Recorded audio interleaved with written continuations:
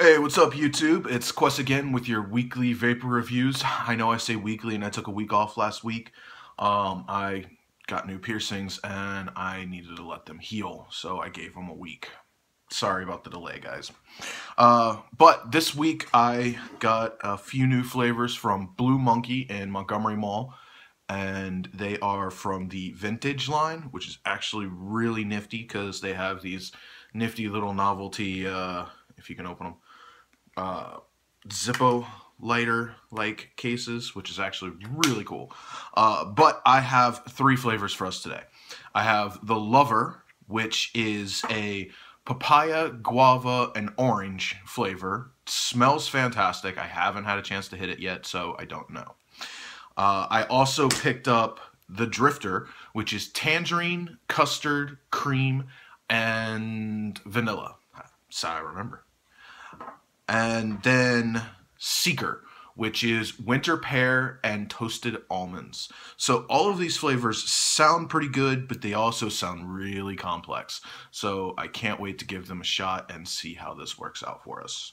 Um, we're going to go ahead and start with uh, the Lover. Now, as always, Reuleaux, DNA 200. Uh, It's set at 100 watts right now currently because my uh, coils are coming in at 0.24.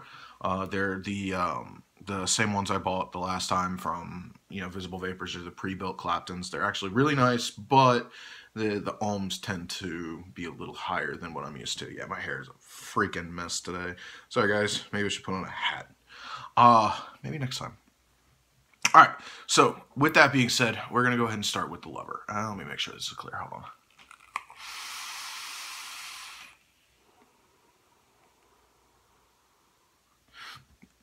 That's pretty good. Dripping some of, uh, you know, example box from last time. Alright, so a couple good drips of this. Now, I do love these bottles. Just because they're just so interesting. Like, you know, I, I, I haven't seen anything like this before. It's, you know, that's the bottle. You know, it's a, a Zippo style, which is actually really nice. Spring-loaded case. Uh, lid, whatever the case may be. Ugh. I'm having a hard time talking today, guys. Sorry. Uh, new piercings. It's great. I can't whistle anymore. I learned this the other day. I can't whistle. Kind of makes me mad. Uh, but anyway. All right. So this is the papaya, orange, and guava. Now, all of these sound... I need to put a little bit more on there. That looks dry still. Uh, all all of that sounds fantastic, uh, but I have absolutely no idea. I mean, it smells good. As soon as you open the bottle, it smells fantastic. Uh, so let's go ahead and give this a shot.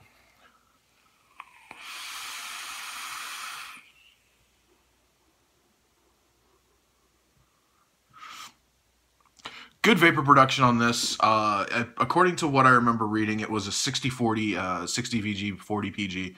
Uh, has a little bit of a throat hit, but not much. Uh, I honestly cannot pinpoint any of the flavors on here, mainly because I don't know what some of them taste like by themselves. Papaya and guava, not really sure what they taste like by themselves. So I, I could be tasting them individually. I could not be. I do get hints of orange in that, though. That I do know. I do get a little bit of hint of orange, especially on the uh, the exhale overall very fantastic very fruity uh, floral even. Like it, it, almost has a floral scent to it like if you exhale through the nose. Uh, so it's it's a fantastic flavor. I definitely recommend it. The price isn't too bad for a 15 ml bottle. It's like 12 bucks something like that. Uh, so honestly it's not terrible. I would definitely look into them especially at least once because these bottles are just nifty. I mean i don't care if i ever refill this and reuse this bottle. I'd keep it just for the novelty because that's freaking awesome that's Lover.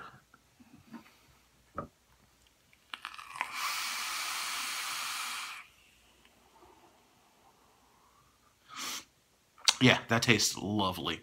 I actually really enjoy that flavor.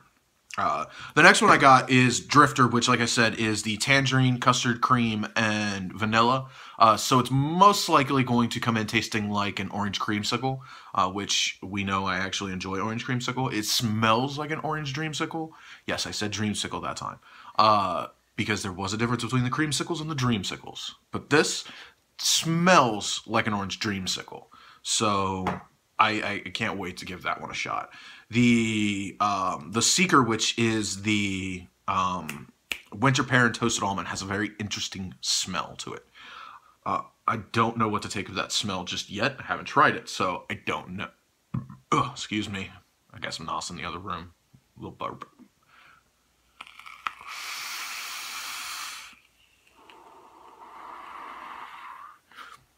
trying to blow past the camera. I'm learning. Don't fog out the the crowd. Do enough of that when I go out to the bar.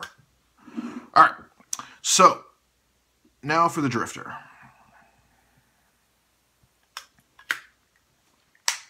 I keep wanting to close it like I do a Zippo. But it's got that catch on the lid, so you can't quite close it like a Zippo. It's interesting. But it's cool. Still, it's still, the, the novelty of it is just really interesting to me.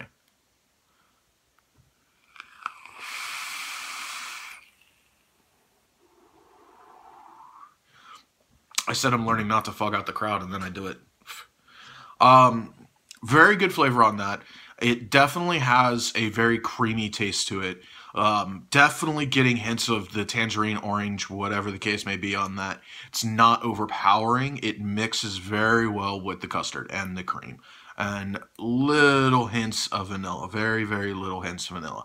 Definitely has a, that citrus uh, throat hit that you get from like oranges and lemons and limes and things like that. So it definitely has that citrus throat hit to it. Uh, I will recommend that flavor if that's your kind of thing. Um, I, I I would vape on that when I've got very little else to vape on, to vape to vape on. Um, because while it is delicious, it's not a hundred percent my thing. Like I've had better creamsicle flavors, if you will, orange creamsicle flavors. But that one is actually pretty good. So I'm going to hesitantly recommend that.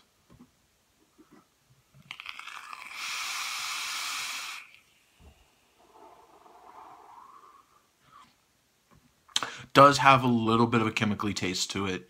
Um, but you know nobody's perfect everyone has every, every flavor every maker out there is going to have you know a a a chemically taste to a certain extent. It depends on what how bad it is. Like the one I had from the sample box that uh that berries and menthol. I, I still have that full bottle. I have not touched it. I just I can't do it. That one's good though. I recommend that. That's Drifter uh, Vic, uh vintage Vic, victory uh vintage e-liquids. Uh, so again, I will recommend it. Um, if you like that kind of thing.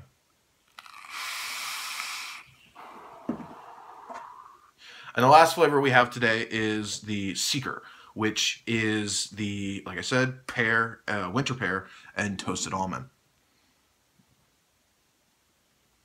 you saw nothing. Uh, but this in this one smells really interesting. I'm kind of excited to try this one just because it's so different. I haven't done a pear flavor in a while, so let's go ahead and give this a shot. An almond. I mean, almond, really.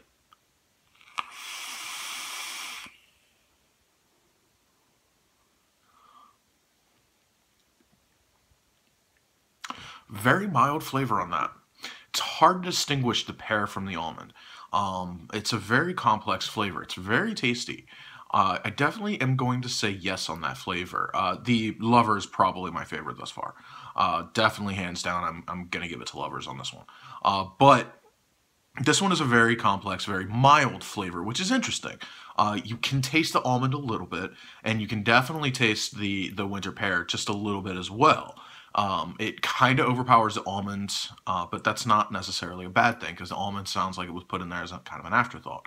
But it's actually very good. Uh, I will recommend that flavor. Great vapor production, and I really don't know what else to say. I mean, it's it's really good. So that's what I've got for you this week. Um, stay tuned. I'll have a new review up next week. And as always, have a great week and vape on.